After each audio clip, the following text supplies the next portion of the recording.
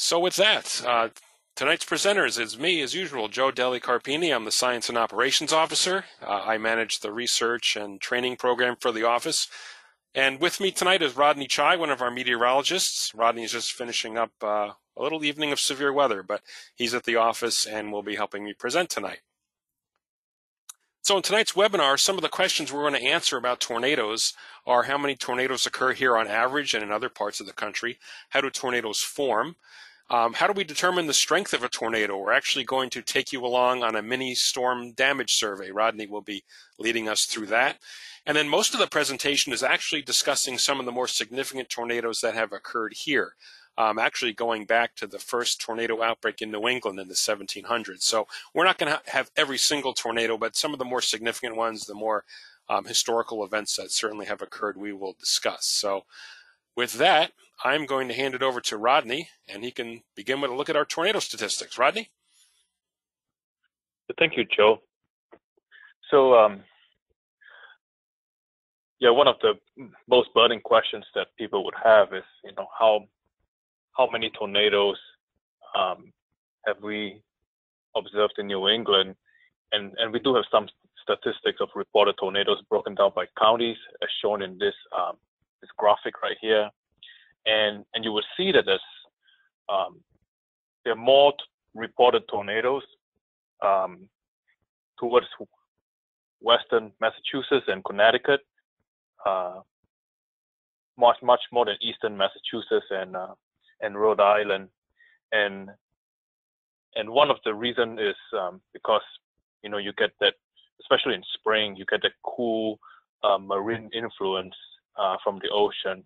The ocean temperature is still very cold, and that usually kind of um, limit the, the, the extent of severe weather uh, for for the east but they do get into the action as the, as the ocean temperatures warm, um, and that's um, you know later in the summer. Um, so looking across the country, um, unsurprisingly, the southern plains and parts of the deep south have a lot more tornadoes than than the northeast.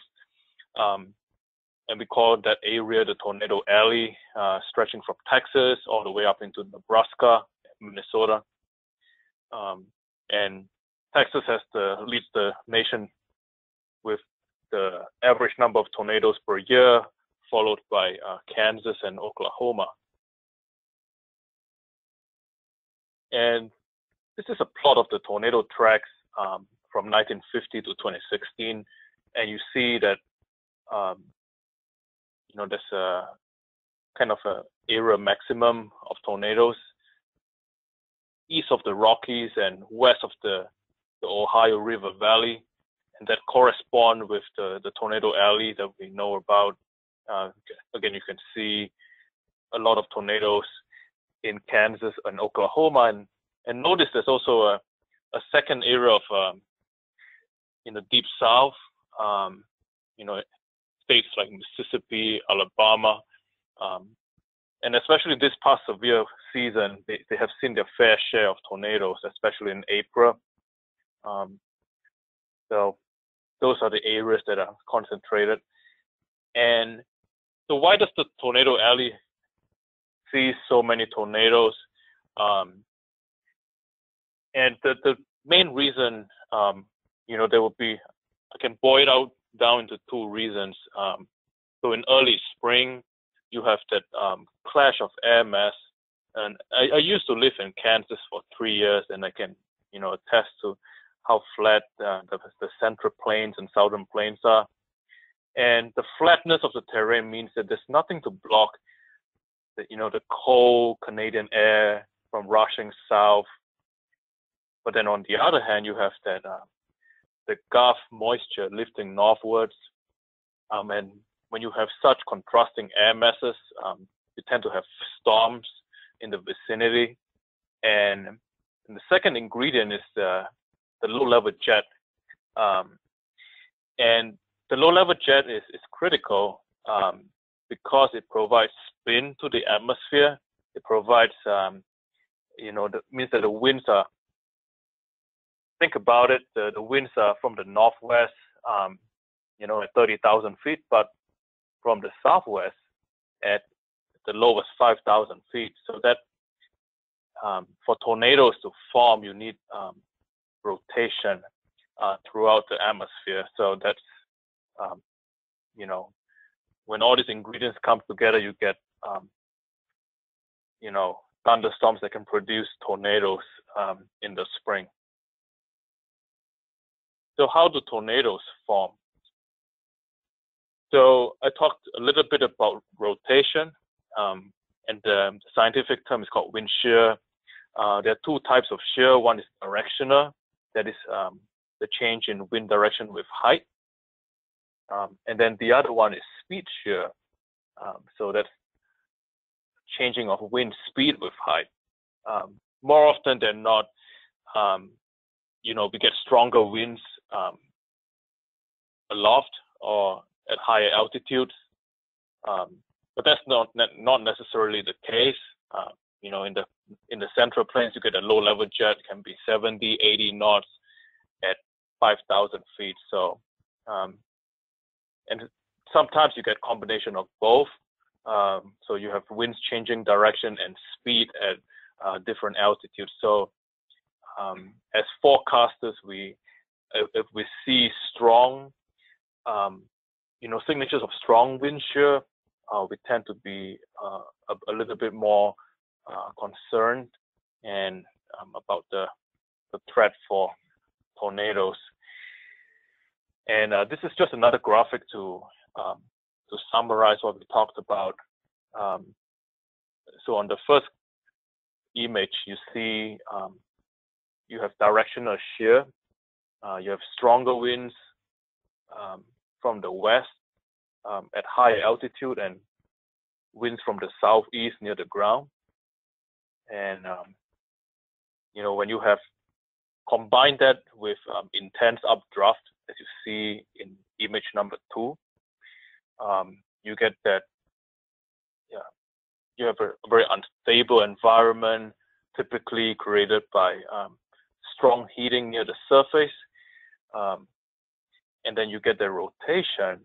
So that updraft is being um, tilted. Um, so you get that um, classic overshooting top, but then you also get that um, tilt to the storm. And that tilt is important because if you get a storm that is totally vertical, it just rains itself out.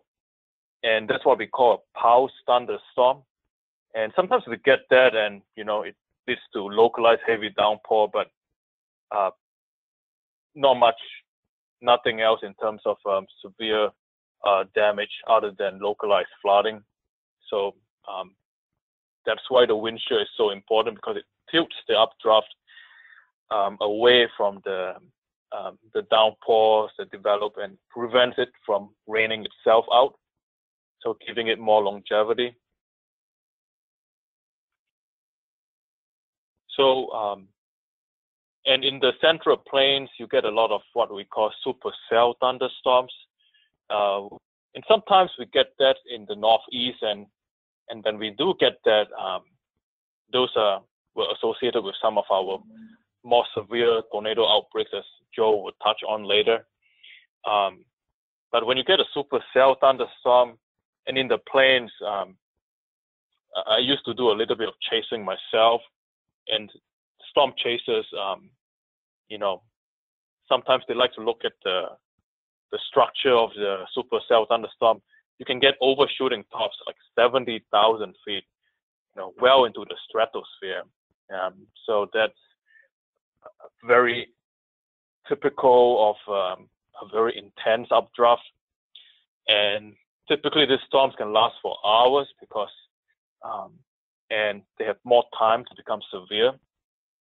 And besides tornadoes, you can get very large hail like uh, golf ball size up to grapefruit size hail. Um, and a lot of times the, the storm chasers, they go out to chase tornadoes, but then they end up getting their, their vehicles dented. Um, it's not surprising with the large hail. And also you get damaging wind as well, 70 mile per hour or more. So this is a, a graphic showing how a supercell thunderstorm look down, look from the top down. Um, as forecaster, we when we see kind of a hook-like structure, uh, that would immediately get our attention because that's um, you know that's symbolic of a supercell thunderstorm, and you have an intense updraft, um, and and then on the back of the storm you have uh, what we call a rear flank downdraft. So essentially, the storm is able to sustain itself over a long time when it has such structure. Um, and a fun fact, uh, the June 1953 Worcester tornado was produced by a supercell thunderstorm. And, and likewise for the 2011 Springfield tornado, again, Joe was touched on um, later in the presentation. So how do you determine the strength of a tornado? So we do storm surveys, uh, and when we go out to the side, we look for tornado damage or suspected tornado damage, um, particularly if it results in injuries or unfortunate, unfortunately fatalities. Uh, we also look for high impact wind damage. Uh, it could be snapped trees or just homes that are destroyed. Uh, and we also look for, um, you know, signatures of flash flooding um, because you, besides you can get a supercell thunderstorm, it means that it has also, like in all likelihood, produce a lot of rain as well. Not all the time, but um, um, and yeah, so continuing, um, so we, and this can happen back in our office as well. We review the radar data, um, and alongside with information from the, uh, the local emergency managers. Um, so we basically compare radar with ground truth, and the radar often can indicate whether the damage may or may not be tornadic. Um, and of course, when we go on site, we, you know, look for uh, the damage and, you know, try to estimate the wind speed um, and now nowadays with drone technology can uh, can provide a panoramic view of the uh, the damage um, and also with social media we have um, you know a lot of wealth of knowledge um, from eyewitnesses um, and and definitely we would encourage you if you have reports be sure to um, send them to us um, either through social media or sending in a storm report.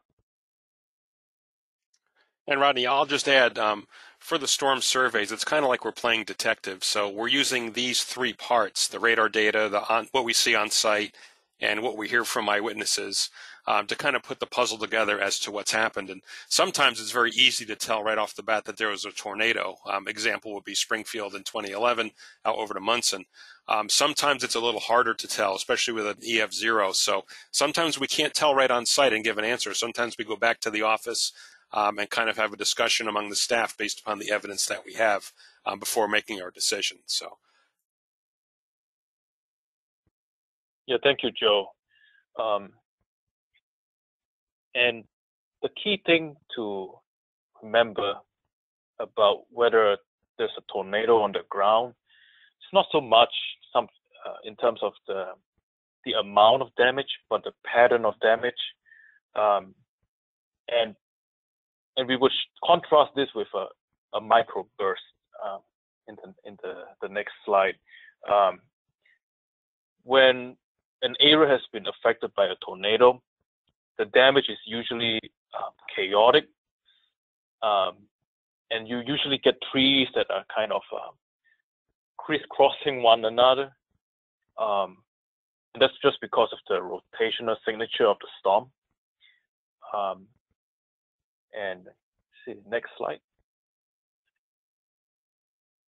And and this slide really shows you the um, the distinction between a microburst and a tornado. So on the left, you have the tornado damage in Monson um, from 2011. And you can see this, the trees were kind of just toppled in all directions, very chaotic.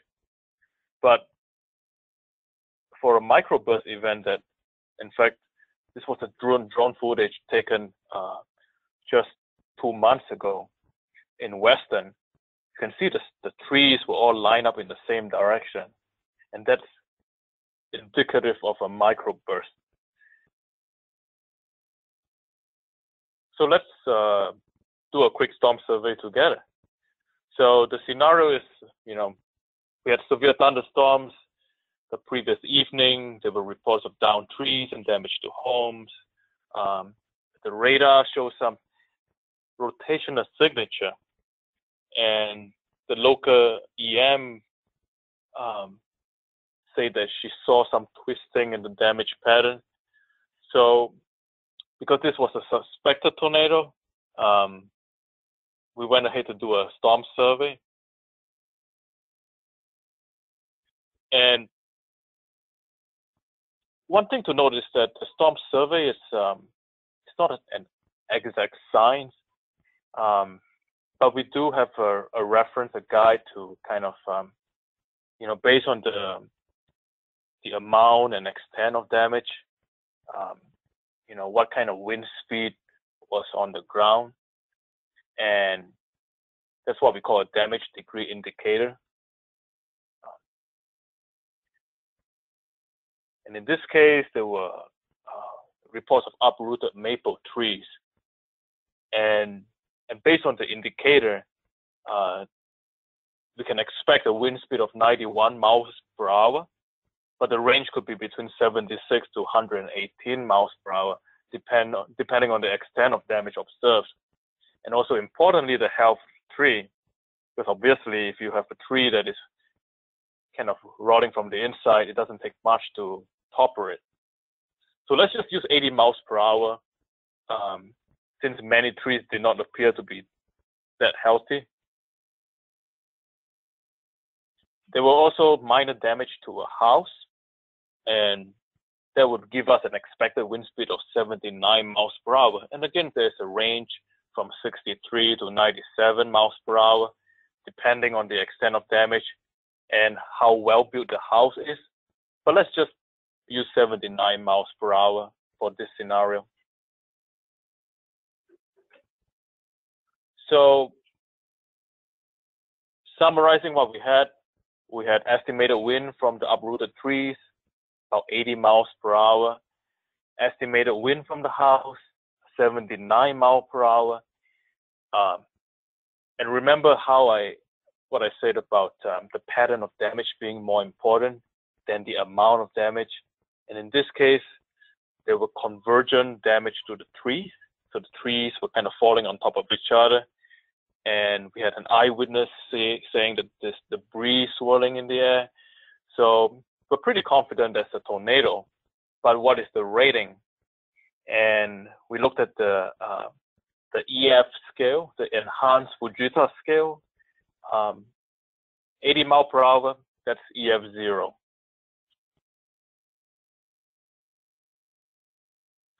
And so, what are some of the more significant tornadoes that have occurred in southern New England? And at this time, I would pass it back to Joe, who would um, enlighten you with um, our some of our more significant tornadoes.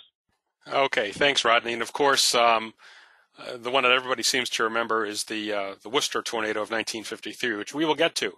Um, but we have a lot of events that we just want to kind of take you through. Um, so the earliest known tornado outbreak was actually back in 1787.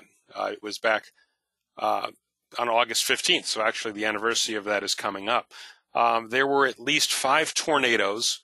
Uh, you can see them listed here in Connecticut and Massachusetts and even in, in New Hampshire. Um, there were many injuries, uh, but only two fatalities occurred um, as the tornadoes passed through many uninhabited areas, but tree damage was described as very extensive. Now, how do we know about that? Well, a lot of people in the colonial times and the revolutionary period had weather journals. So um, a lot of these tornadoes were actually recorded. Um, people reported whirlwinds and things like that. Um, in some cases, an elephant's trunk, uh, you know, a cloud feature. So uh, going back to people's weather journals, they're able to actually recreate um, you know where these storms were. So if you follow our um, this day in weather history on social media, you'll see a lot of these events, especially from the colonial period through the revolutionary times in the 1800s. So um, there's a number of them also coming up um, in August, which you'll see on social media. So let's go a little bit closer to the current time. Worcester, of course, June 9th, 1953. This is probably one of the most famous tornadoes in southern New England, which caused extensive damage. And this was rated an F4.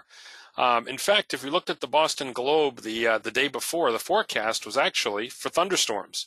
Uh, so back, you know, this is the early 1950s, not today with the internet and everyone can look at model data. Um, wasn't a bad forecast of thunderstorms, and actually, um, we have some um, information from our office in the archives about some discussions that took place the day before. Um, the staff actually knew the history of the weather system for those of you who are familiar with the weather uh, the day before, there was actually a tornado outbreak in Michigan, um, which was kind of the precursor to what happened in Worcester the next day. So, meteorologist on duty, Al Flahive, um, and other staff met um, to discuss the forecast at 10 o'clock on June 8th uh, to discuss the mention of tornado for their next forecast issuance um, because they knew what had happened in Michigan the day before and knew there was at least a chance of that happening uh, the next day. But they decided against it because they didn't want to be unnecessarily alarming. Um, back in the 50s, using the word tornado um, was thought to possibly incite panic um, and confusion. So it was really not a term that was used very much at all. So instead, they opted for the first ever um, forecast with severe thunderstorm wor- uh, wording in it at 11:30, which was windy, partly cloudy, hot and humid with thunderstorms, some locally severe. That was the first time that was used in a forecast for New England. So the weather map on June 9th, um, this was actually from the Worcester Weather Bureau office, uh, showed, you know, classic pattern, uh, which was actually not too unlike what happened in June uh, 2011. Warm front lifted north of the area, hot and humid air.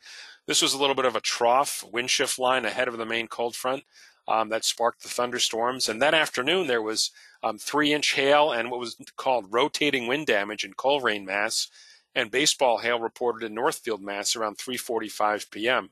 Um, just prior to the Worcester tornado. Next, what we're looking at is actually a radar image taken at 4:55 p.m. This was from an MIT radar in Lexington, Massachusetts, and this hook echo, which you're probably familiar with as a signature for a tornado, um, was actually seen on the radar that day. This is over Holden, Mass. And what was happening in Holden that day? Well, lo and behold, uh, a big tornado. This was actually a photograph from Tom Grazulis' book on, on tornadoes, um, showing the tornado over Holden, Massachusetts. Now, this photo is probably the most famous uh, one of the Worcester tornado. It was taken um, near Shrewsbury, um, and you can see a well defined funnel. This is obviously a very large tornado um, occurring at the time. So, uh, that was what happened afterwards, after uh, that afternoon. So, from the Weather Bureau's uh, standpoint, what was going on? Well, there was a phone call made after 5 o'clock from Blue Hill Observatory to the Boston Weather Bureau um, talking about debris falling out of the sky. Um, and the quote there it's coming from great heights, shingles, small branches, paper, boards several feet long. I'm afraid there's been a bad tornado somewhere. So the forecaster, uh, Drebert in Boston, agreed and issued the first ever tornado warning in New England uh, mentioning caution is advised on severe thunderstorms with isolated tornado activity in the Boston area between 6 and 8 p.m. this evening, and that was sent via teletype at 5:45. So after the tornado was done, uh, unfortunately, but um, at that point, you know, they weren't sure. The days of, of communication weren't like they are today, um, so a warning was issued based upon that. And actually, that day there were three other tornadoes in addition to the Worcester tornado. There was an F1 tornado up in um, New Hampshire actually two of them, an F1 and F3, and then another tornado just to the southeast of the Worcester tornado from Sutton to northern Mansfield in Massachusetts. Uh, so there were actually four different tornadoes on that day. Uh, the strongest of them, obviously, was the tornado that moved through Worcester. So the final statistics for that, it was at four damage um, on the ground, 84 minutes, a path length of 46 miles, and a width up to one mile. That was a very that's a very large tornado by our standards. Um, there were 94 fatalities and nearly 1,300 injuries, and about 4,000 buildings destroyed. And of note, um, debris was actually found in the Boston area and on Cape Cod. Um, a frozen mattress was found in Massachusetts Bay near Weymouth. and books and clothing were found at Blue Hill and also on the outer part of Cape Cod near Provincetown, Chatham, and Eastham. So debris was lofted well up into the air and thrown, uh, you know, many, many miles uh, to the east. So moving on in time, um, this was August 1972. Some of you may remember this, especially in the in the greater Boston area. There were three tornadoes that day: an F1 in Wilbraham um, that really just uprooted dozens of trees, and that's pretty typical for our tornadoes. Um, they tend to just uproot down trees and occasionally some damage to houses and other structures. There was an F2 from Templeton to Winchendon um, around 3 o'clock. That traveled 10 miles, um, did a little bit more damage, uh, trees, wires, and buildings, and there was one injury with that. And then in, in Metro Boston, a tornado traveled seven miles from Needham through Newton to Brookline. That was an F1. Um, there was one fatality um, and six injuries in Chestnut Hill from falling debris. Again, most of the damage there was to trees and some homes. And there's a photo uh, of the damage in Brookline of some of the tree damage. So we're going to move forward in time, and now an, another storm. This was a, our tornado. This was probably one of the more famous ones as well. The Windsor Locks tornado. This was an F4, um, October 3rd, 1979. Um, and this was one of the worst tornadoes in Connecticut's history um, pretty much struck without warning. And given the unusual time of year in, in, the early fall, the initial reports were of an explosion, not of a tornado. Um, there were three fatalities and about 500 injuries. Um, 100 homes were nearly leveled, and about 30 aircraft were destroyed at Bradley Airport in Windsor Locks, um, including the Air Museum uh, there. Uh, this was, you know, a fall tornado. We get them. We had a, we had some in 2018, which I'll discuss. Um, so there's actually a secondary peak for tornadoes in the in the early fall. Um, you're still getting you're getting a strong contrast with the the colder air moving in. There's usually a lot more of the wind shear that Rodney talked about, so um, that can be favorable for you know tornadoes late in the season. In 1986, um, three tornadoes struck Rhode Island. Um, probably the most well known of those was the one that went through Cranston and Providence. Um, but there was uh, this was the only multi tornado day in the history of the state of Rhode Island. Um, first, there was an F1 tornado in Cumberland in the northern part of the state, traveled a half mile, damaged to trees and power lines. Um, but the strongest was this F2 tornado around 4:15 p.m., which traveled four miles um, through Cranston and Providence, and you can see a damaged photo there on the right from the Providence Journal. Um, it flipped a truck, moved a house off its foundation, and took the top floor off of the building that you see on the right.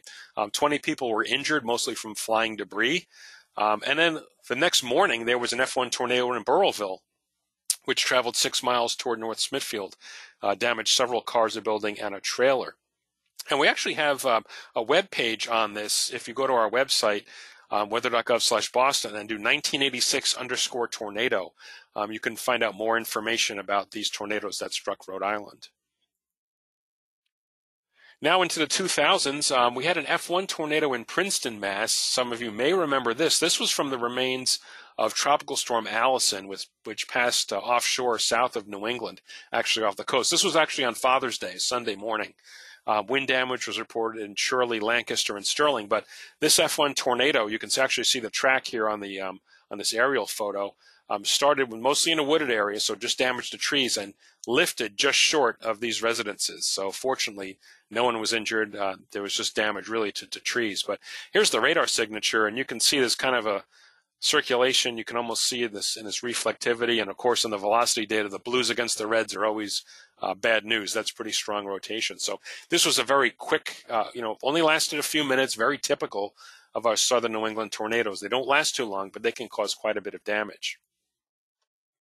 Now we go on to June 1st, 2011. I'm sure many of you remember this day. Uh, this was an EF3, very similar to the Worcester tornado, and the environment actually was very similar. Um, it was typical of almost a, a plains type severe weather day. A lot of instability, a lot of shear, um, and what are called steep lapse rates, where it's the temperature change from, say, the surface on up several thousand feet. Um, so this was, uh, you know, if you were in the plains, you'd, you'd, probably say, okay, it's a typical spring severe weather day. For us here in New England, this is probably once in a 50 to 60 year event. Um, you know, before Springfield, the last tornado of this caliber was the Worcester tornado. So, um, you know, for for many of us, this is you know once in a lifetime event. Um, this was rated EF3. It was the high end of EF3, and you can see a couple of photos. On the left is from Monson, Massachusetts, and on the right is the tornado actually going through downtown Springfield, crossing the Connecticut River.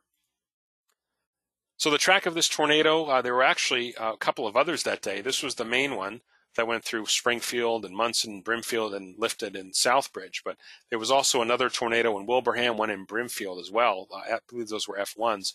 If you looked at satellite data, um, you know, even to this day, you can see a little bit of this ground scarring here um, along the path of the tornado where the trees were just pretty much uprooted and, and debarked for the most part.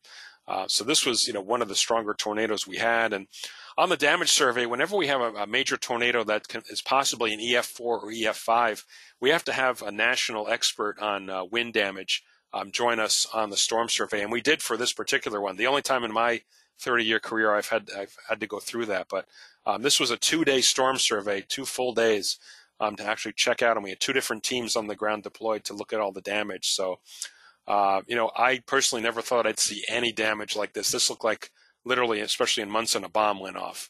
Uh, just so much damage. And for those of you who remember the radar, we didn't have the dual pol that we could show some of the other things, but we had the typical what's called a debris ball. This is actually some of the debris being lofted into the air um, associated with the tornado, and you can see very strong rotation, um, bright orange against the, the greens here. Um, and this is at a distance from the radar. This is looking, you know, a few thousand feet up. Um, so this was very, very strong rotation. You can see there was actually another supercell to the north of uh, of the Springfield tornado. So why didn't this one um, develop as much? Well, because this storm was taking all the energy and taking all the the inflow, it's called, um, to strengthen its updraft, where it was disturbing kind of the circulation around this supercell. So there were two smaller tornadoes, but nothing to the extreme of that EF3. And some of the damage photos uh, you can see from the air lots of damage to structures, uh, downtown Springfield, many buildings damaged, destroyed, houses destroyed um, throughout the area. In Wilbraham, uh, some of the most high end damage occurred. This was the high end EF3 trees uprooted, flattened. Many of them were debarked. Uh, and this is in Monson too. Many houses were just totally destroyed in this one neighborhood. Uh, in Monson, you can see many of the trees just snapped off or completely ha- have no bark left on them. And again, here's a shot of the tornado in Monson. And notice it looks pretty similar to the Worcester tornado, doesn't it? I And this is almost, you could say this is almost an identical photo. Very, very similar. So again, probably what I would call a once in a 50 or once in a 60 year event, uh, the Springfield tornado of June 1st, 2011. Changing gears now, in 2012, Block Island, uh, there was the first recorded touchdown of a tornado. Um, and for the most part, tornado records go back to the 1950s, but um, this was an EF0. Um, it was initially a waterspout. Um, it's if you can see Block Island here, maybe hard to see, but um, there's actually a circulation, green against the red, showing our, our, circulation with that storm. It was a waterspout that moved on shore and caused some tree damage, um, but it counts. So uh, Block Island had its first EF0 with a maximum wind of 70 miles per hour. That was in 2012. Moving to 2014, um, this was the Revere Mass EF2. Um, this actually occurred in the morning um, and was rated with max winds of 120 miles per hour. It had a path length of two miles and about a, almost a half mile path width. No injuries or fatalities, fortunately. Um, and this was only on the ground for four minutes. Again, very typical of our southern New England tornadoes. They're not on the ground for 20 to 30 minutes. Uh, you know, the Springfield tornado aside, that's the exception. Most of these are maybe five to 10 minutes. They come down, cause damage, and lift right back up again. So um, you need to, that's why we always say you need to be weather aware when we say there's a potential for tornadoes. They can sometimes strike without warning. Here's a look at the radar images from the Revere tornado. Nothing really shows up, you know, uh, if you're looking at what's called our reflectivity, it looks like just a, a, lot of heavy rain, maybe some thunder embedded, but lo and behold, there were actually two circulations. Um, and it, if, if I were to loop this forward, it was these two circulations that came together and formed the tornado right over Revere. So at the time, forecasters were really concerned about flash flooding in Boston, which did happen. Um, but at the same time, we had these two circulations and they just merged together and dropped a, a very short lived EF2 tornado. And here's a close up um, looking at the circulation. And again, this is using what we call correlation coefficient, and it just shows the uniformity of what the radar is measuring. So when you see a, a circulation like this coupled with um, lowering, you know, of this what we call CC, that's indicative of tornado debris. It's called a tornado debris signature, and essentially confirms a tornado is on the ground. So at this point, um, we were seeing there was obviously a tornado and dam, uh, debris was being lofted into the air. So that's the signal you will see on the radar. Moving forward to 2016, uh, there was an EF1 tornado in Concord, Massachusetts. Uh, some of the damage photos there, a lot, again, a lot of tree damage. And this one actually occurred in the middle of the night. Um, it touched down at 3:20 in the morning, and only the fifth tornado on record to have occurred in Massachusetts between midnight and 6 a.m. Uh, the last one was in the 70s, I believe, 1975. It had maximum winds of 100 miles per hour. Um, again, short path length, half mile, and only a 400 yard path width. So a short touchdown, um, but did quite a bit of damage. And if this loop will work, you can actually see uh, here's the reflectivity. You're not seeing too much in here, but if you look to the to the right, you can see a good circulation, red against green, going right through Concord. That's the short tornado touchdown. And something else we look at here too uh, is the rotation tracks uh, that we can look at from the radar. So it shows areas of you know weaker rotation in the yellows, but stronger rotation in the reds, and this is associated actually with the track of the tornado as it moved through Concord. So it's something else we look at in the radar. The one thing about the Concord tornado was this was one of the first times we had the, what's called the wireless emergency alerts. Um, you get the warnings on your cell phone for tornado warnings, and actually it woke people up in the middle of the night. It, it worked, um, and a lot of people their cell phones went off. They got up. They went to. They saw the tornado warning, and they went to a safe place in their house, basement or an interior room, on the lowest floor. And we heard about it the next day on social media. People got the warning. They took action, and nobody was injured uh, or at all. So, um, a good success story for the middle of the night, which can be a very bad time for tornadoes. In 2018, it was kind of our banner year uh, for tornadoes here. We had a number of them. Uh, through Douglas and Upton, Mass, this was an EF1 tornado. Uh, and again, another one in the middle of the night, 2.30 in the morning. Um, it was an EF1 with winds of 100 miles per hour. This one traveled a little bit farther, about four and a half miles, uh, and a path width of 200 yards. But again, no injuries, no deaths. Uh, the wireless emergency alerts um, helped once again, woke people up, got them to take shelter before the storm hit. And this is just a look at the radar uh, at the time. You don't see too much, looks kind of innocuous, but there is a little bit of a curl here um, and that was it. Sometimes we don't see too much on the radar at all. Um, zooming up a little bit, you can see, you know, there's no real indication of a hook, just kind of a broad area of heavy rain, maybe some sort of, you know, appendage looking feature. Uh, but you can certainly see on the right, there's your rotation, your tight, uh, you know, your greens against your reds. We call it tight and bright, and that's the indication for tornado. Moving on to August 4th of 2018, this was Dudley and Webster, Mass. This was an, an EF1 that caused quite a bit of damage, especially in Webster, Mass. Uh, this one was an EF1, winds of 110 miles per hour. Again, short path length, half mile, and only 300 yards width. Uh, that was the track. Um, there was one injury from falling debris. Um, this one occurred at about 10 in the morning. It was a Saturday morning when this one um, occurred, but there was warning in advance. Uh, so people were able to take action. Uh, here's looking at uh, differences in circulation. This is about three minutes prior on the left. You can see you've got greens, you've got reds, but they're really not close together. Uh, at the time of the tornado, we kind of seen the same thing, but this is very circular in its pattern. So this is, even though it's not right against one another, the greens and the reds, um, this circular uh, kind of pattern to it is indicative of a tornado. Now we move on. This was October of the same year, so you know, not only enough during the summer, but we had actually a bit of an outbreak here in Massachusetts and Rhode Island um, in the fall. So there were actually four um, different tornadoes, which we'll go through briefly here.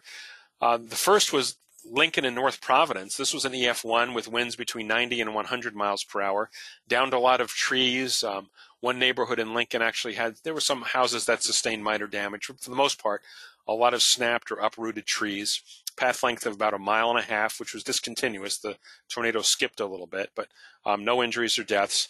Here's a look at the radar. Um, so what we're looking at, this is your reflectivity, and you see that hook pattern. Um, here's your velocity. You're looking at the greens against the reds.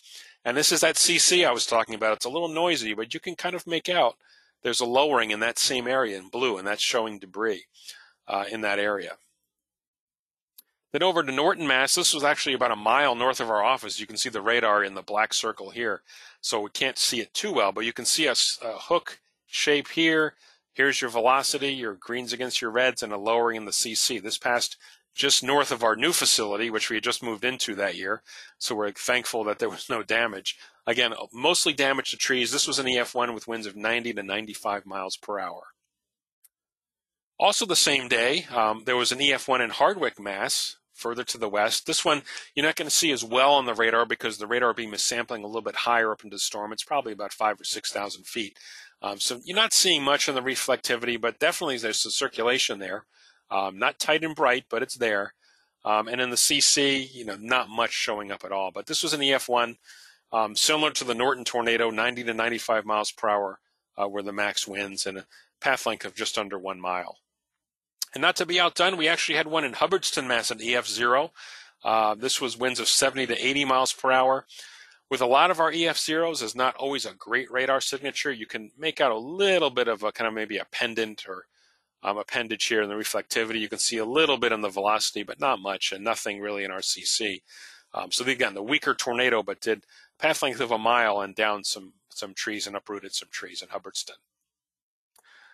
Then on to 2019, uh, many of you I'm sure remember this day. Um, I certainly do. We had um, a number of EF1 tornadoes on Cape Cod uh, during the morning, just from really one supercell thunderstorm. These, this is the rotational track that I was showing earlier. And you can see we had a very long lived storm that started off south of New England over the water, uh, moved up into Vineyard Sound, passed just to the west of Martha's Vineyard, um, moved just east of Woods Hole um, into really Kalmus Beach, and then caused its damage here on Cape Cod. So at 10:47 a.m., we actually uh, this was well before the storm was over the water, just about to enter Vineyard Sound. Um, we looking at this data, you can see a waterspout is likely occurring at this time based upon the strong uh, velocity data. Um, you can see this is on the right is called normalized rotation. So it's the higher the the value, the higher the rotation. Um, you can see a little bit of a circulation in the reflectivity, and you know you could argue there's a lowering here. Maybe that's some spray being lifted up, um, but it's hard to tell. But at this point, there's probably a waterspout going on, but really nobody's there to witness it. Um, just before 12 o'clock, the tornado did pass through Woods Hole, and we did have a photo of a waterspout from the Steamship Authority. And then at 12 o'clock, um, the tornado touchdown occurred in Yarmouth. Um, and this was a radar confirmed tornado. So we have our reflectivity. You're not seeing much of a hook, but a little bit of what we call an appendage. There's a very strong velocity couplet with the yellows against the, the blues almost that's forming. Um, and in this point, you also have the lowering of the CC. So this is where the tornado touched down and was producing some damage in Yarmouth. At 12:10 p.m., there's another tornado touchdown in Harwich. Um, again, this is a, a, large, you know, almost a. It's not really a hook, but it's it's almost its own storm with its own circulation. Um, you can see the very tight um, and bright uh, velocity couplet there on the upper right, um, and a little bit here near where it says East Harwich of a lowering of the CC, which is some debris being lofted into the air. So just to, to summarize, and uh, Rodney, I actually I will let you do this because I'm almost out of breath. So why don't you finish up and we'll talk about uh, a couple of safety tips. Sure, thank you, Joe. Um, so just to summarize, um, in terms of messaging, um, you know, it's very important to distinguish between a watch and a warning. Typically, and ideally, um, a tornado watch should um, follow, should precede a tornado warning, and uh, and if you were to take some of our other other uh, webinars, um, you would have known that um, we, um, as a as a forecast local forecast office, we collaborate with the Storm Prediction Center, which is based in uh, Norman, Oklahoma, to um, to you know issue uh, severe thunderstorm watch and tornado watch um, if we think that the environment is ripe for a more widespread um, severe thunderstorm outbreak. Um, but this is not necessarily the case in you know in in events where you know there's there's an isolated tornado and then we have to issue a short fuse tornado. And that's when the the uh, the WEA um, comes into play. You get alerts and uh, you can react um, accordingly. But you know, a tornado watch is be prepared a tornado is possible. The ingredients are there, um, and you know, use the time to have a plan. You know, if you live in a mobile home, uh, mobile homes, I must emphasize, are not um, safe shelters in the event of a tornado. You would need something more concrete, and so you would have to look for alternative shelters. Um, if you know, it would tell you that the environment is favorable for tornadoes. When you get a tornado warning, uh, that is not a time for you to go outside and take videos and uh, of the tornado. Immediately head to the, the safest shelter that you can find um, and hunker down, wait until the storm is over, um, and you know save your life. Um, so to find out more about thunderstorm safety, our, our website is a great resource. Um, just go to weather.gov slash Boston um, and then under safety, go to tornadoes, um, and you can read um, all about tornado safety um, and other um, things as well. So thank you so much for listening into the presentation. Uh, we will now take uh, questions, um, and I will pass it back to Joe. Okay, thanks, Rodney. So we'll, let's go through, and uh, we have plenty of time to answer some questions here. So let's see. Uh, Jimmy, question from Jimmy: How do you determine if it was a microburst or tornado? I think we covered that pretty well, Jimmy. So again, um, you look, we look for essentially the twisting debris in the tornado and more of straight line, you know, trees all falling in the same direction for uh, the microburst. But we also use radar data. We also use eyewitness reports as well to help us uh, confirm that. And he has a follow-up question: Was there a tornado last Thursday, 7:23, in Andover, Mass? Um, no, there wasn't. Um, there were a few funnel clouds, uh, I believe, that day, and Rodney actually is working on an event review of July 23rd, and we plan to actually present that um, probably in a couple of weeks. So stay tuned for that. But um, all of the damage with that was was straight line wind damage, even though there were a couple of reports of funnel clouds. Um, nothing touched down. Question from Mark: Tornado damage report shows columns EXP, LB, UB. So again, that's what we use um, when we're out on a survey um, to determine the wind speed. So what we're doing is we're looking at damage and we estimate a wind speed based on that damage. And from knowing the wind speed, then we can assign an EF rating if it's a tornado. So EXP is expected. That will be a wind speed that you would, would expect to see based upon that kind of damage. LB is a lower bound, meaning um, if you know the trees were weakened, if the construction of the house wasn't really up to par. You know, if it's a an old barn or an old outbuilding, for example, we might use the lower bound as a kind of a lower estimate of the wind speed. Whereas on the opposite, an upper bound might be for some pretty impressive damage um, that we feel is above that expected value. So we actually have three values that we look at um, when we go out and do our storm damage surveys. Question from Peter: What is a tornado family? That is typically um, a, number of tornadoes that can be spawned, you know, from the same supercell. Um, occasionally, a supercell can drop one tornado, um, then the tornado would lift. Then we can have a, you know, kind of what we call recycles itself, and another tornado forms. So uh, it's a number of tornadoes kind of spawned by the same uh, by the same storm. Let's see. Moving on. Uh, from Katie, there was a tornado on 29 June 89 in Hamden, Connecticut. Uh, that is correct. I did not include that because we had a lot, but actually we do have a social media post on that uh, from June. So every June that one will go out. But there was a tornado in that area down near New Haven. Um, from Bill, the Lincoln, Rhode Island tornado. I think ah we did cover that, and he says yes. Ah, we did. Um, let's see, Mark. Difference between two radar echoes side by side. Not sure what you mean. Um, if we're looking at if we're looking at reflectivity, uh, if there are two different storms, or if we're looking at velocity. So velocity, we're looking for a couplet, strong inbound, which is typically the greens, and a strong outbound, which is typically the reds. Um, that's typically what, so we look at reflectivity. We look at, you know, to see if there's any kind of pattern. Usually we look for the hook. Um, but most often we're looking at the velocity data to see the actual rotational couplet, see the strength of it, uh, to determine, you know, if we need to issue a tornado warning. So, Mark, if I didn't answer your question, feel free to email me or, or throw another one in. Um, question from Ethan uh, Is the info of damage on different buildings shown earlier on the NWS website? It'd be a nice reference.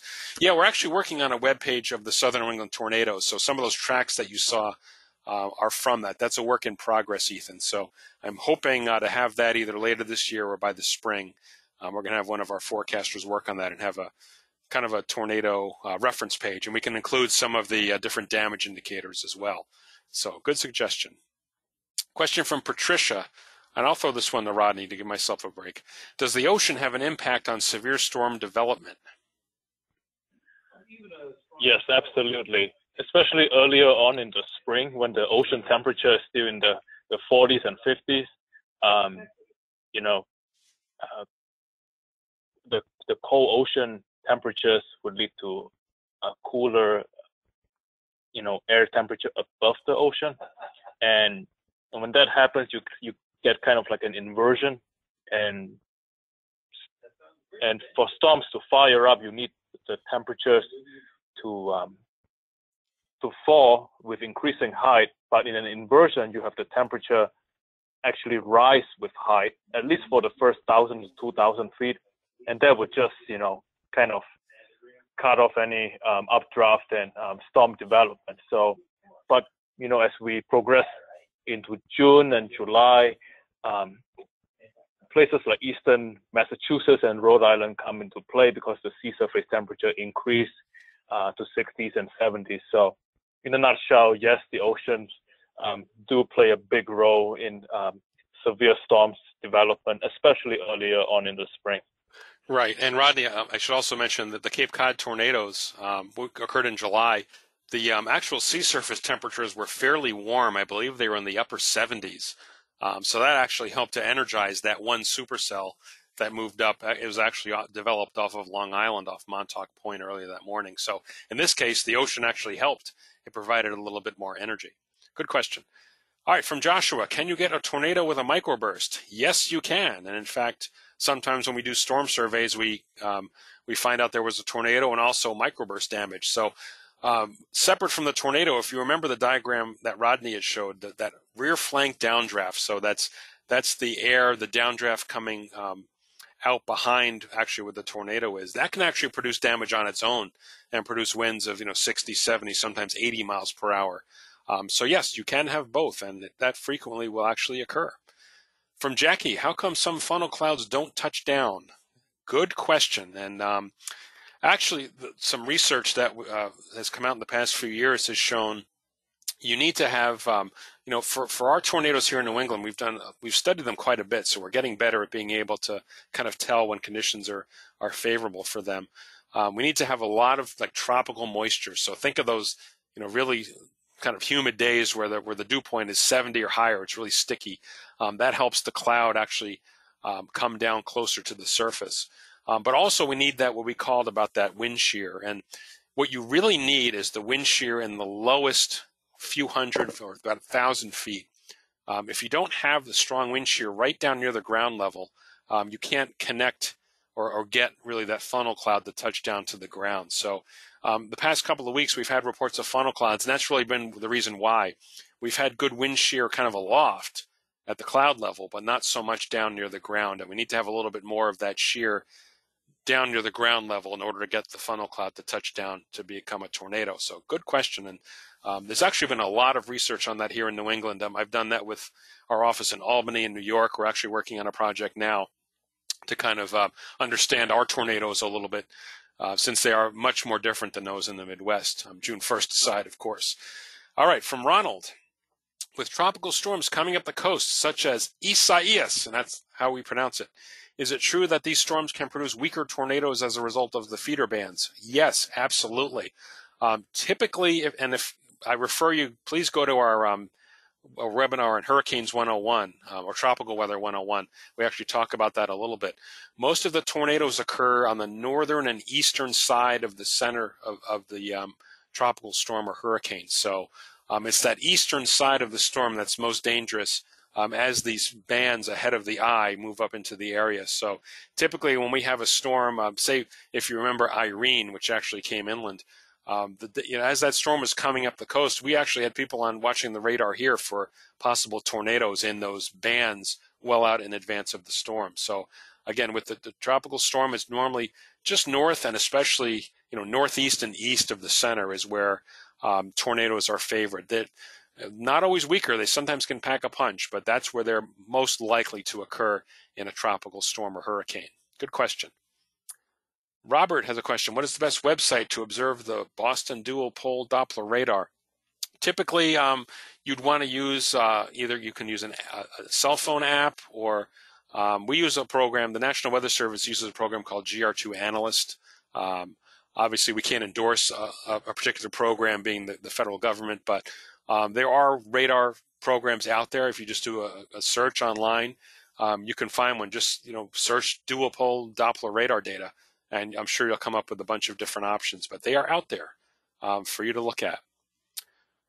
From Eric, what forecast tools are available at longer ranges, like 24 to 48 hours prior, for tornadoes such as Revere or Cape Cod that aren't directly associated with an organized severe weather outbreak? Um, I can uh, start and Rodney, you can finish. Um, well, right now what we have um, are we have what are called um, high resolution models. So they are really good for these smaller scale weather events. We use them from anything from um, heavy snow bands and winter storms to severe thunderstorms and tornadoes. Um, these are fairly new, maybe the past really three to four years, um, and they're constantly being improved. So we have access to those now. We didn't have those really for Revere. Um, we did for Cape Cod, and we knew that the environment was favorable. Um, so we're pretty much looking at, at these higher resolution models from 24 to 48 hours, even 12 hours out um, to get an idea of the environment that's favorable. And again, we want the instability, we want the wind shear, we want that high moisture. Those are kind of the three ingredients that we look at, but they really have to all come together uh, to be favorable to produce severe weather. Rodney, anything to add on that? Yeah, thank you, Joe, um, and thank you, Eric, for the question. Um, yeah, and I can we can actually recommend you a, a website to go to because this is actually um, um a storm prediction center website. Um, and the website, the URL is um, uh, spc.noaa.gov slash um, exper, ex, like experiment, slash href, H-R-E-F. That's basically the website for the high resolution um, ensemble uh, forecast. And this product is, is, is very useful because um, and you when you explore the website, you see it is very visual, uh, visually appealing, and um, it goes up 48 hours, and basically uh, it is an ensemble of um, of five different high resolution models um, that you know go out to 48 hours, and if you play around with the website, um, and feel free to ask, um, send us questions how to use the website. Um, you know, there's um, there's a section where you can see what's the probability of tornadoes, uh, hail, and severe wind. Um, you know, by every four hours or every 24 hours, and um, it, it, can give you a pretty good idea um, the the severe type of severe threat that we we face, and even as forecasters, we actually use that website as well. So uh, it, it goes to show how much how useful the website is. And uh, yeah, and Eric, um, I would also encourage you go to our YouTube video page. We have a, a webinar we recently uh, conducted. It's called Severe Weather 202 that goes through a lot of the forecast tools that we have, even going from you know eight days before right up to the day of the event. So that's called Severe Weather 202, and it's in our YouTube video page. Good question. Next one from Paul is: Are you using drones extensively for your storm surveys nowadays? Um, we're using them more. Um, we, the National Weather Service doesn't, you know, our office doesn't own a drone, but um, we have partners, our TV meteorologist partners, um, Skywarn Amateur Radio. Some of those observers have them. Um, so if we can get access to some drone footage, we certainly will take it.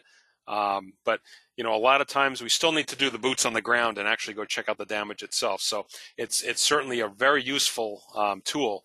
In in the past, we'd have to use um, we we would you know have Massachusetts State Police helicopters do a flyover for us and take pictures, or Civil Air Patrol. Um, help us out with photos. But now with drones, um, it's certainly a lot easier to get that footage and, and a lot faster too. So we are using them, and I would expect in the next few years we will be relying on them a little bit more and more. So good question. Uh, from Kevin, uh, was there rotation about a week ago with a cell coming out of New Hampshire into Eastern Mass?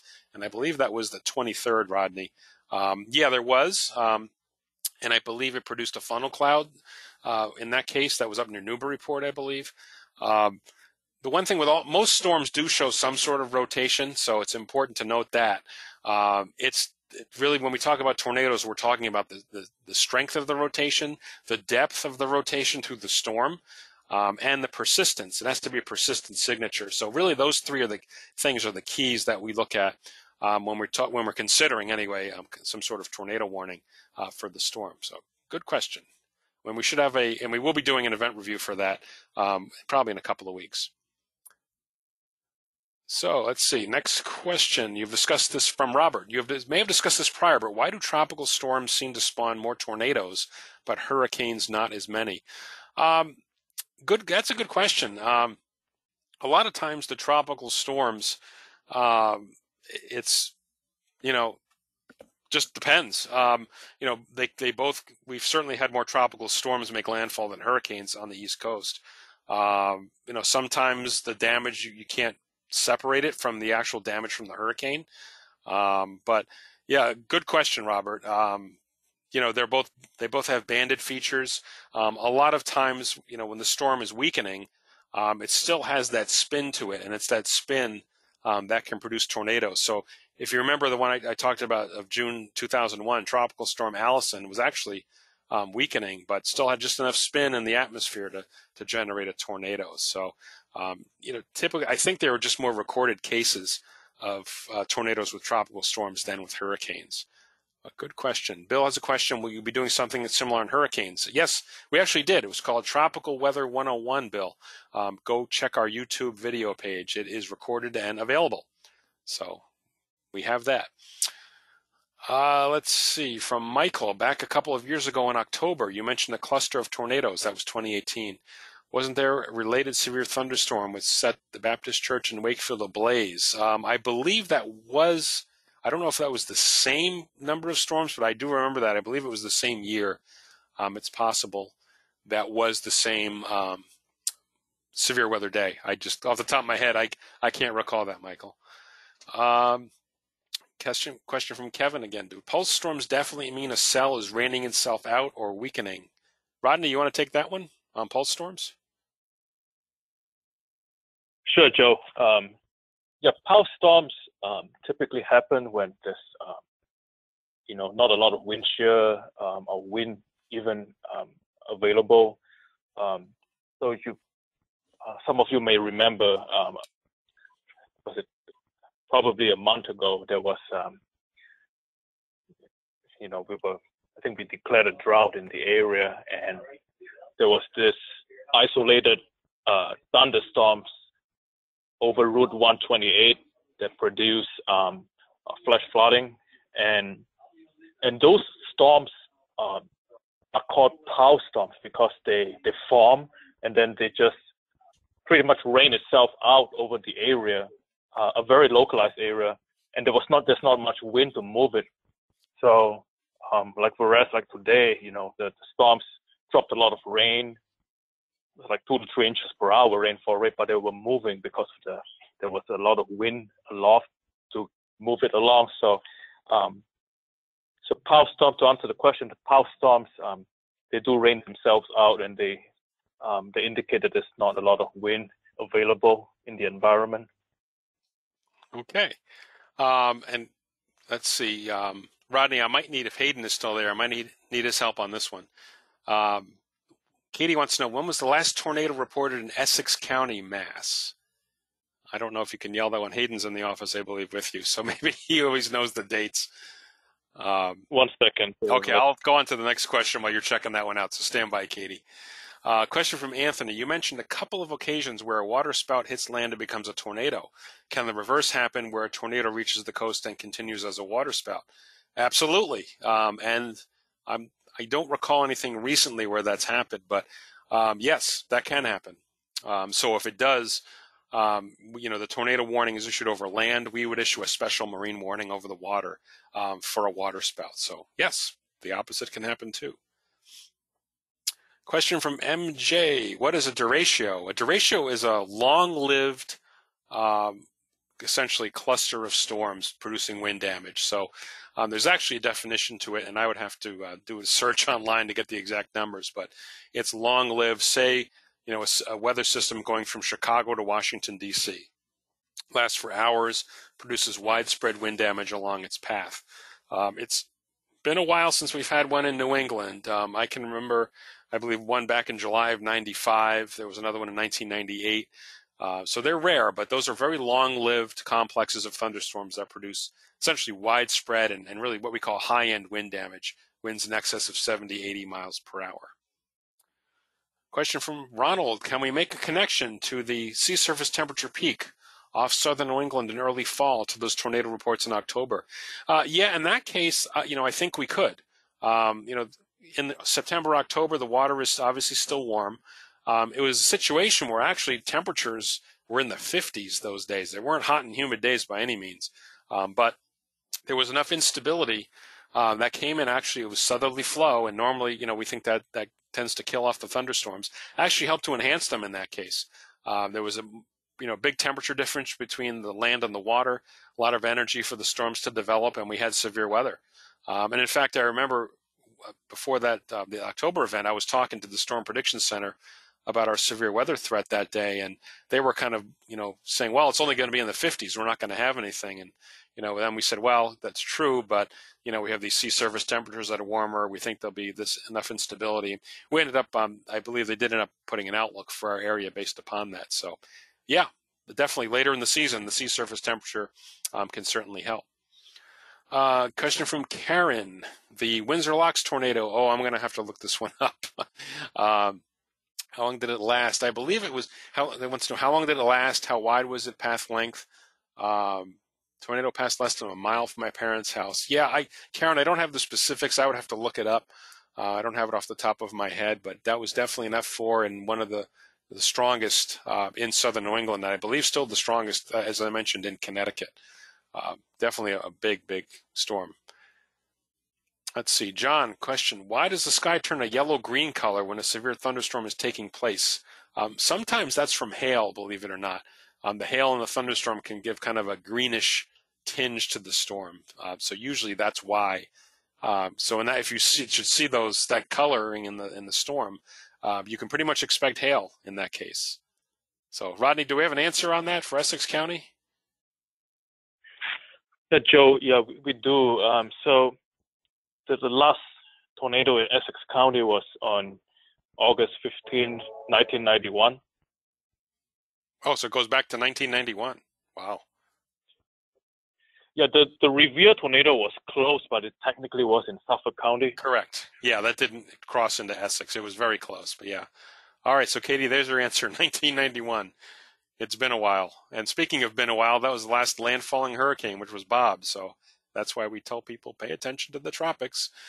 All right. Thanks, Rodney. And thank Hayden for me. Um, from Michael, uh, talking about Harwich last year, observe the damage track, um, which appears to have jumped around. There'd be a damaged area, no damage, and a random tree felling. Am I correct in thinking the storm bounced up and down?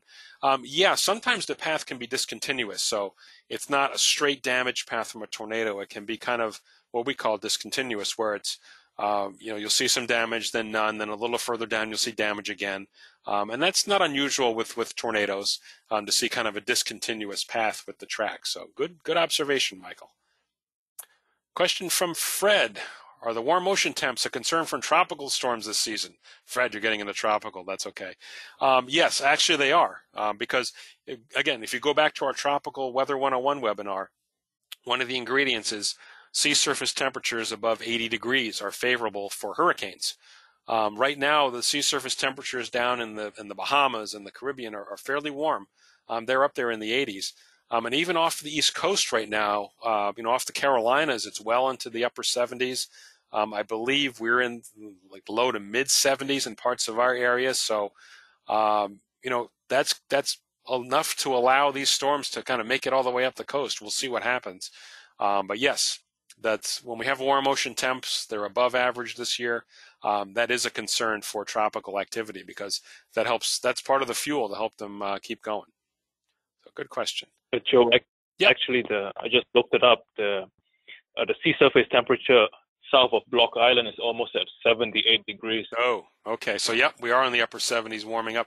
Yeah, the hot. You know, these days of 90s um, you know, even though it's not 90s over the water, can still help really to raise the uh, the sea surface temperatures quite a bit. So, you know, the, the month of July has been pretty hot, um, as was June. So, um, that's going to give us above average temperatures and more fuel for these storms. Good question. Uh, question from Joshua: Can smaller thunderstorms like a single cell produce a tornado? Um, usually not. Um, typically, with a single cell pulse storm, you'll just have wind damage as the core collapses. Um, but you know, sometimes on the, the leading edge of the gust front, you can have a gustnado, which is a quick spin up, um, not a true tornado in the sense, but um, can produce kind of a, a, swirling damage pattern in itself. It's usually weaker. Um, so, I, you know, maybe a gustnado would, would appear on that. Um, also, oh, from Philip, here's a suggestion. Good radar site um, to look at is, is the uh, College of DuPage. That's right. Thanks, Philip. So it's weather.cod.edu and then slash forecast. So weather.cod.edu. And that's actually a good site for model data, radar, and satellite uh, data. Pretty much everything they have there, College of DuPage. From Ronald, reports of green skies during tornado outbreaks. Fact or fiction? Thank you. Um, again, this I, this goes back to the hail. So I would say, Rodney, I would say fact. How about you, with that green skies during tornado outbreaks? What's your vote? Yeah, that's hail. Yeah, sure. so it would be. And again, typically when you have tornadoes, you're talking for the most part it's a supercell with large hail, and that's where you get that green tinge. So yes, we will say fact on that one, Ronald.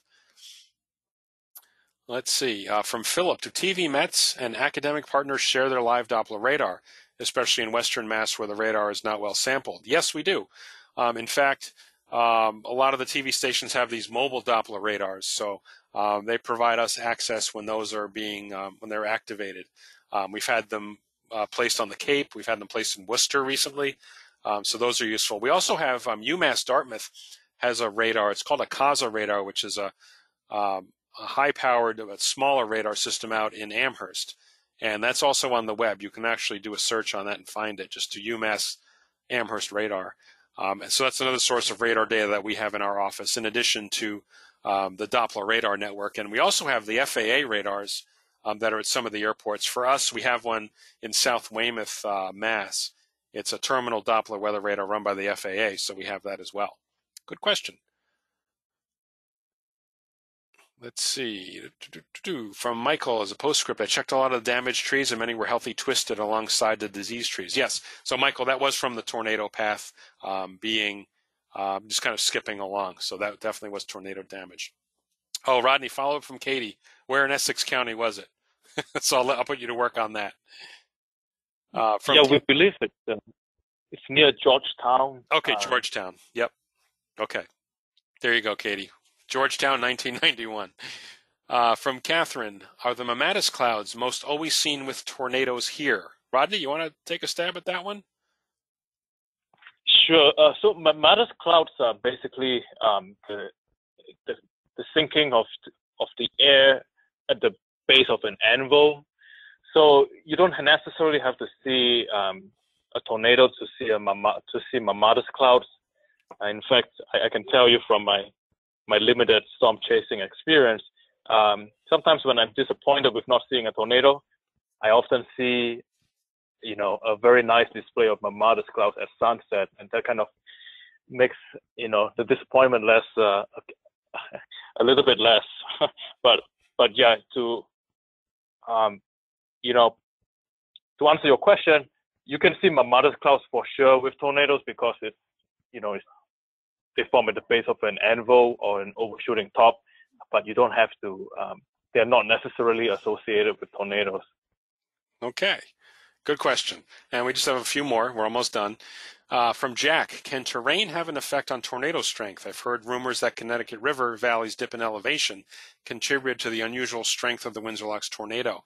Um, yes, actually it can. And in fact, the Connecticut River Valley is, is actually a kind of a natural source of what we call with that wind shear. Um, a lot of times, if we have winds ahead of a cold front out of the southwest, for example, uh, winds will actually back along the Connecticut River Valley, meaning they'll be more of the southeast. And that gives us more turning. So instead of a southwest wind at the ground to maybe a westerly wind aloft, you would have a southeast wind, which is turning its way to south, southwest, and then west. That's a lot more spin for the atmosphere. Um, so yes, the terrain certainly the river valleys um, have an effect. Not just the Connecticut River Valley. Um, we've seen this with the Mohawk River Valley, the Hudson River Valley in, in New York, uh, in particular. So it's the larger river valleys um, are really able to channel that wind um, up and down the valley. So again, the Connecticut River Valley, Hartford, uh, Windsor Locks, you'll see more of a, a, south or southeast wind a lot of times um, as a result of, of air kind of channeling up that valley. So yes, good question. And let's see. From Andrew, is it true the first ever tornado recorded was in Massachusetts? Uh, yeah, actually, Andrew, that's you know going back through the the books. Um, I believe it was in Cambridge, um, and it's one actually one of our weather history posts. I think it might have been a July post, um, but you know certainly tornadoes have occurred you know before uh, you know the, the colonial times. But um, as far as being recorded, I that's you know there is some debate, but I believe yes, that is true that the first ever tornado was recorded in Cambridge, and I don't remember the year offhand. It might have been the the 1600s. Good question. Uh, from Joshua, and I'm going to hand this one to Rodney. Why do more tornadoes occur in Western Mass than Eastern Mass? Yeah, hi Joshua. Um, good question. So um, you know, I would boil it down to two reasons. Um, the first reason is um, because of the terrain. Um, you have, you know, in western Massachusetts and Connecticut, you have the, the Connecticut River Valley. And like Joe has alluded to, um, the River Valley, you know, serve as a channel for the winds. And, and, you know, usually they come from the south or southeast and, you know, they push north into the northern Connecticut River Valley. And remember, a key ingredient for tornadoes is um, you need to have the change in wind direction or wind speed with height. And, you know, a lot of our storms, we have uh, winds out from the west and northwest um, at higher altitudes. So the, the river valley allows for the lower altitude winds to be coming in from the south, and which is totally different from winds at higher altitude. So that provides an environment for uh, for for more spin. Uh, the other reason is towards eastern Massachusetts and Rhode Island, especially earlier on in the spring, the ocean temperatures are so cold that they they just inhibit uh, updraft and storm formation. You know, in in places like Boston. Um, but later on in the summer, um, as the ocean temperatures warm up, they can actually serve as a as a catalyst for um, for severe storms development. So, um, so um, overall, there are two reasons. First, the terrain in western Massachusetts and Connecticut, and the second reason is uh, just because of the proximity to the ocean. Um, all right. Thanks, Rodney. And that will do it for our questions. So I'm glad we got through all of them. Very good. And thanks for everybody for sticking around. I know we're over an hour, but appreciate it. Um, again, I want to thank you for attending tonight. And Rodney, thank you for helping us out. Um, as always, we really like hearing your feedback, so you can email me. Uh, my email address has been on the screen, or you can use your webinar confirmation. Um, I'll get back to you. It may take, you know, with our upcoming tropical activity here, it might take a few days, but um, certainly I'll get back to you. Tell, you know, tell us what you like, what you don't like. If you think of a question afterwards, send it on to me. Um, any suggestions for future webinars? We'd love, you know, to hear it. We, we love doing these for you and being able to interact with everybody. Um, so again, uh, thanks for joining us, and please uh, stay weather aware the next few days. Um, you know, this this tropical system will be somewhere off the east coast. Um, we can't say exactly, you know, is it going to hit New England for sure? Um, if you've seen the cone, we are in the in the cone area. Um, but just remember, you know, no matter where the storm goes, we may end up having some impacts, whether it's rain or wind or, or whatever. So just pay attention the next few days, and um, you know, you may need to, if you live on the coast, have a plan. You know what you need to do, um, and obviously stay tuned to the latest forecast information. So we will be working with the National Hurricane Center closely, I'm sure, over the next few days. So thanks again, everybody, for joining. I hope you have a good evening, and take care. We'll talk to you soon. Thank you, everyone.